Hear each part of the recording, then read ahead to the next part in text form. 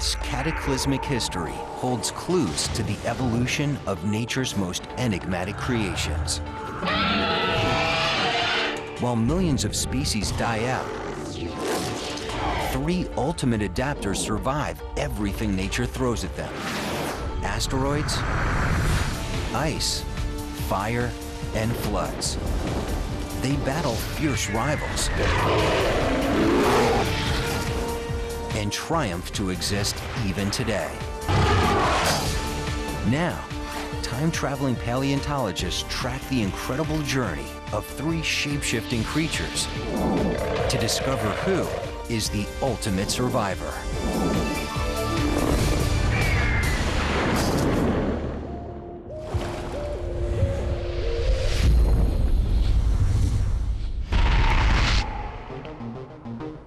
Asia, Pakistan. In 1978, a team of fossil hunters discovers something mysterious in rock that was once the bed of the ancient Tethys Sea. When we found it, when we cleaned it, I really wasn't sure what it is.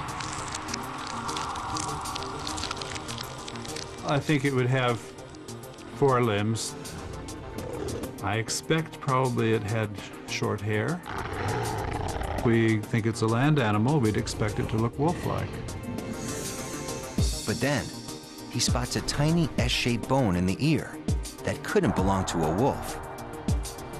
Known as a sigmoid process, it's unique to one order of animals that now lives in the water.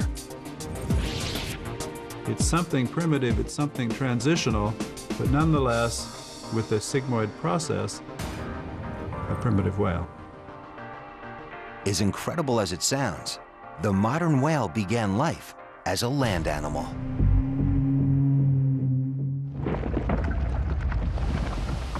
Fifty million years ago, Earth is a hot place and home to one of the whale's ancient ancestors, named Pakicetus. About the shape and size of a modern wolf, it lives on a diet of plants and small animals. But climate change has wiped out its food supplies. So Pakicetus takes his first tentative steps into water. The reason for this risky move? Earth's warmer waters produce an abundance of marine life. So he's lured into the shallow waters by a banquet of food.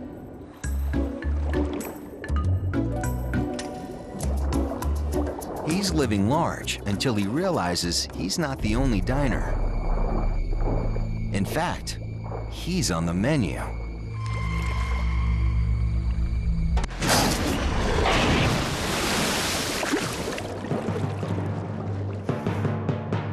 And sure enough, Pakicetus soon disappears from the fossil record.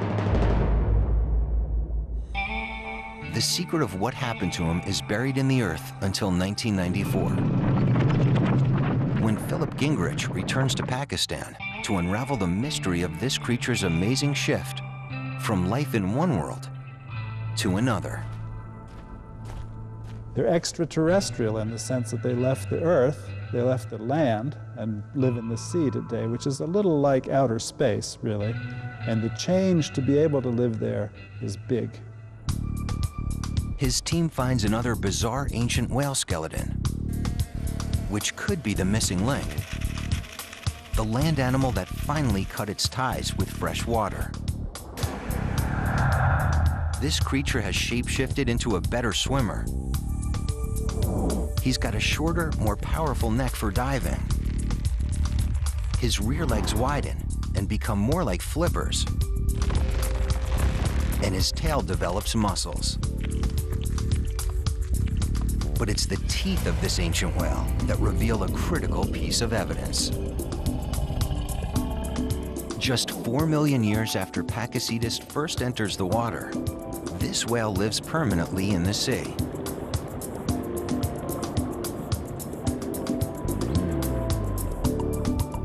This is the first whale that really took to the sea. And to be honest, we didn't believe it. Gingerich dubs his find Rodhocetus. Incredibly, it appears to be the missing link between the wolf-like ancient whale, its descendants, and modern whales. Clues about this amazing transformation lie in the new world where Rodhocetus lives. 46 million years ago, India is separate from the landmass of Eurasia. The Tethys Sea lies between. Over tens of millions of years, India moves closer to Eurasia. As the Tethys Sea narrows, it becomes more shallow and full of light. A perfect home for breeding microorganisms and the fish that feed on them. To adapt to this watery fish mart, Rodhocetus has shapeshifted. Over millions of years, changes in the genetic makeup of his ancestors that helped the species survive are passed on to him. Rodhocetus has evolved kidneys to process salt water, which he excretes through his urine, and he can live in the ocean full time. Here, there's plenty to eat. Life is good, till he realizes he's not alone. Sharks and crocodiles have found clumsy ancient whales easy meat. So Rodhocetus must adapt to escape his predators, or he's history. Once again, he shapeshifts and evolves an upgrade to his most distinctive feature, his inner ear. Professor Fred Spoor studies the organ of balance key to the survival of Rodhocetus. The organ of balance inside the inner ear is an absolutely vital, a key organ to function for any animal. It's an organ that makes you aware, conscious or subconscious, whether you're moving and it helps you to keep your balance and not fall over. Spoor produces a model of the human inner ear, enlarged 12 times. It consists of three canals at right angles filled with fluid. The fluid moves when the head moves. Nerve cells register the fluid movements and send signals to the brain. Then, the brain instantly decodes the signals and adjusts our balance so we don't fall over. But acrobatic behavior makes the fluid in our inner ear slosh around, sending scrambled messages to the brain and causing dizziness. Spoor discovers that whales develop a way to prevent dizziness. For comparison, actually look at the inner ear of a whale that has also been enlarged 12 times. Then we can see that there's not that much overall difference in size, even though whales are of course much larger than, than humans are. However, the enormous difference is that the bit that deals with balance, here and here, is enormously reduced in the, the whale. The whale's inner ear is so small that the liquid inside barely moves. It allows whales to turn and twist at high speed without getting disoriented.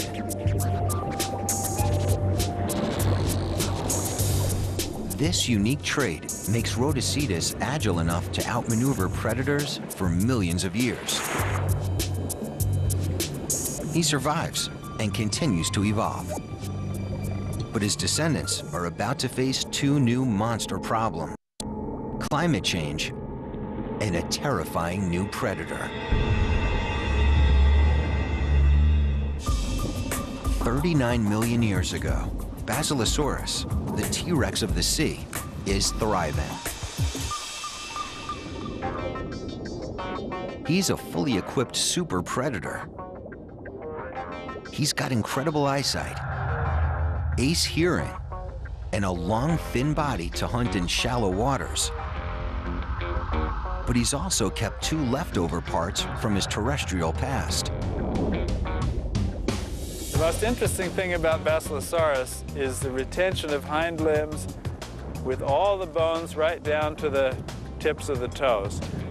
So they are a vestige of a former life on land. They're a token of this giant's humble beginning on land as Pakicetus.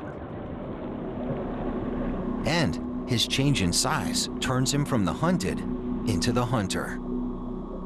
Now he's got the goods to take on his old foe, the shark.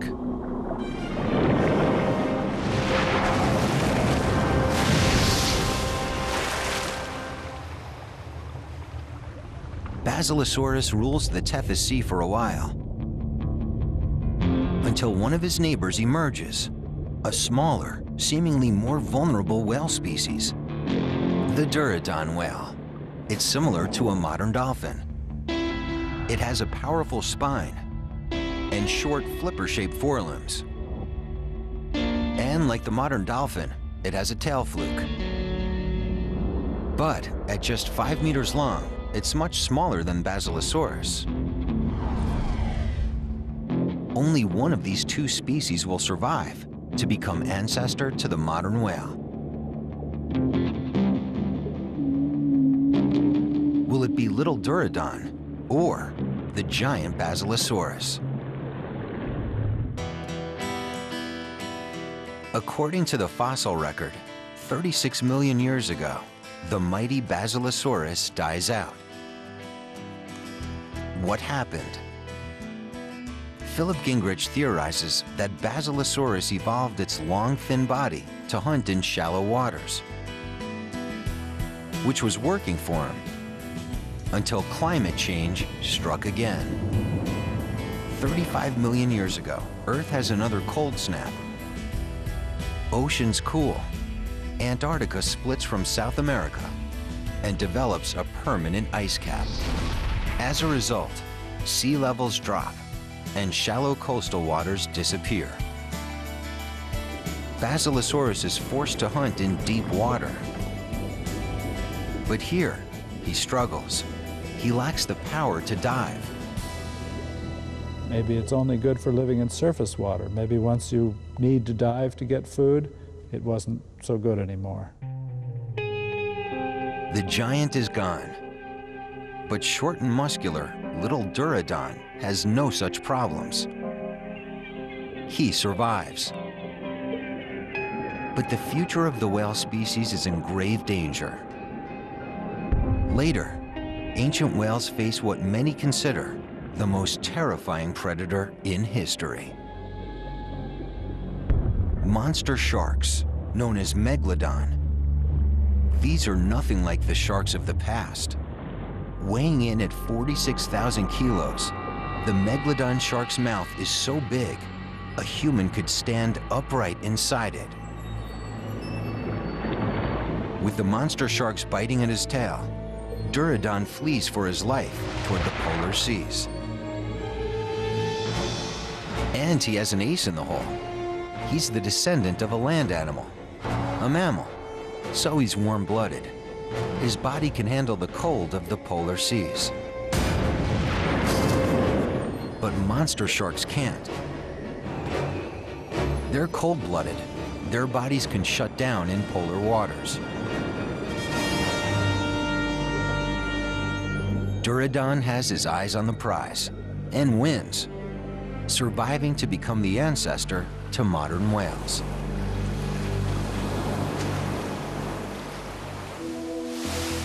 From the miraculous story of an animal that began on land and evolves to live in the sea, these three shape-shifting superstars make to get this far is truly remarkable. All of them start life on land. A tiny, early dinosaur evolves into a fearsome carnivore, then shrinks, grows feathers, and finally takes to the skies, where Earth's only surviving dinosaurs still soar today. And an awkward land animal takes to the sea, where more than 80 whale species now thrive, from the largest, the blue whale, with a heart the size of a Volkswagen Beetle, to the bowhead, who can live for over 200 years. Bears, birds, and whales. Which of them proves to be Earth's greatest adapter? Turns out, evolution isn't a winner-takes-all battle with just one crown champion. Each in its own element is a shape-shifting superstar. On land, in the air, and in the sea. These are the ultimate survivors.